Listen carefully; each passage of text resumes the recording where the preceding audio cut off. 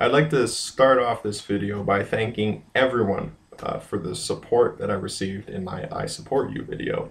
Um, for those of you who may not know, it did spread quite a bit around my neck of the woods. I was interviewed on Bob FM by Milky, and I'd like to thank him for helping spread the word. And uh, I was also contacted by uh, Stuntman Stu, Angie, and Trish, the morning show for Magic 100.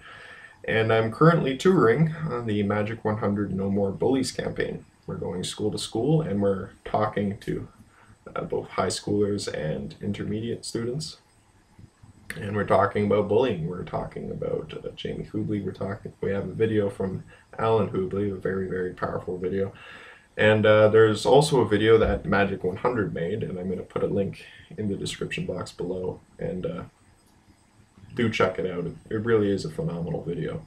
Um, and so thank you to them.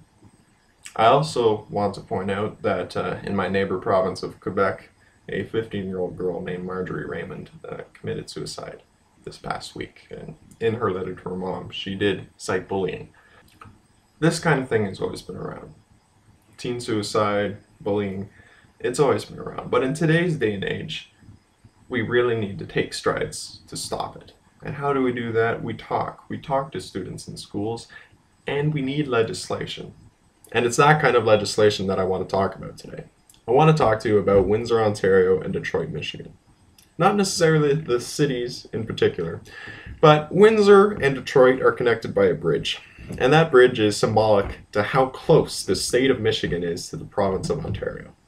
The two territories, even though they are so close, have both tabled very, very, very different anti bullying laws. The recently re elected Liberal government of Ontario has tabled a bill which would give schools the power to expel bullies, where until now the only power they've had was to suspend bullies. And it also legally mandates that all schools, public and Catholic, create some form of a gay straight alliance where there are students who request it. Now, for those of you who remember the Halton Catholic District School Board um, last year in Ontario, who uh, outright banned gay straight alliances, and then the um, legal and public outcry that came afterwards, their compromise was that they would allow a gay straight alliance, but it wouldn't be called a gay straight alliance. And unfortunately, that soft wording has found its way into this bill. But other than that, this bill is both powerful and effective. And if it is passed as such, then it will go a long way um, to better protect the victims. There is room for improvement. Uh, there does need to be more counseling available to bullies themselves, as the conservative opposition rightfully pointed out.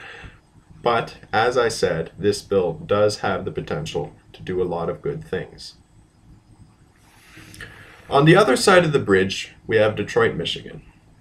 And in Michigan, a bill had been tabled which was called the Matt Safe School Law.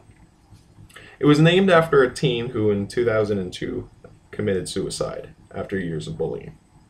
Now, this bill, in its original form, had the potential, like Ontario's, to be both powerful and effective. And then the Republicans got to it. What the Republicans did was they put in a clause this clause allows for the harassment of students by other students and teachers, so long as their harassment comes from strongly held religious beliefs or moral convictions. It doesn't take a genius to figure out that this clause is directly targeting gay students. What other openly discriminated against group is so often discriminated against based on religious conviction. Why is same sex marriage opposed? Religious belief. Why is same sex adoption opposed? Religious belief. Why are discrimination laws against gays opposed? Religious beliefs. I have never been shy about my view on Republicans, and I'm not about to start today.